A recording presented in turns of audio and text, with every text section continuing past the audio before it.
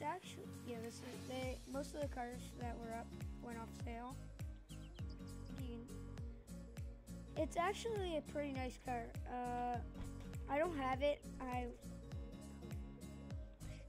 and the top speed is really good. I wish I could actually buy it because I have this. But that's a new car, and that's it for today. See you guys next time. Peace.